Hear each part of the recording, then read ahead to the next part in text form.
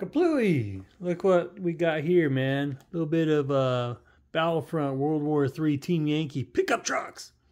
I had to get these, man, because, you know, it reminds me of Wolverine, you know, Red Dawn, you know. So anyways, so let's go ahead and uh, open this up and uh, check them out.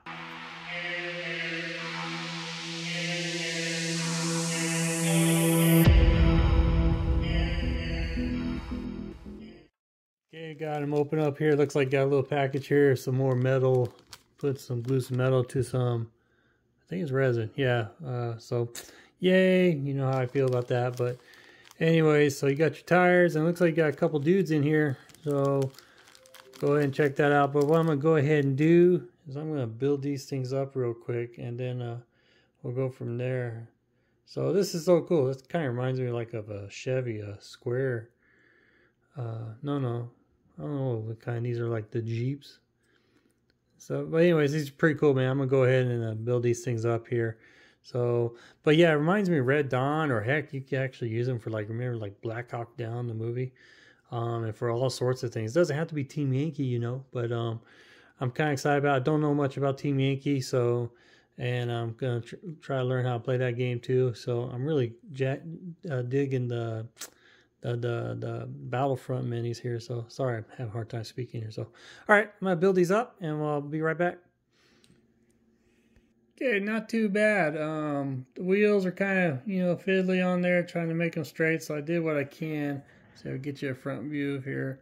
So then the minis there in the back are pretty cool. The dudes.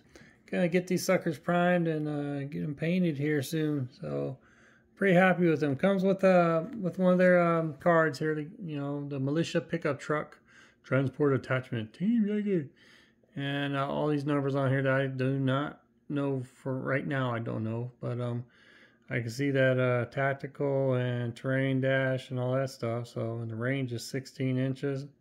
So it has a 7.6 uh, millimeter machine gun on there on the back.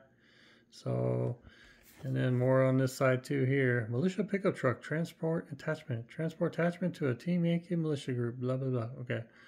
So, yeah, pretty cool, man.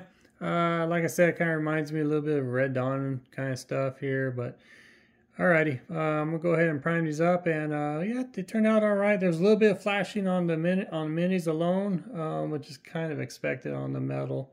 So, but um, yeah, I'll take a couple pictures here so you get a better idea of the quality and the detail of, of this, and that's it. So, y'all take care, and I'll see you on the next video. Bye.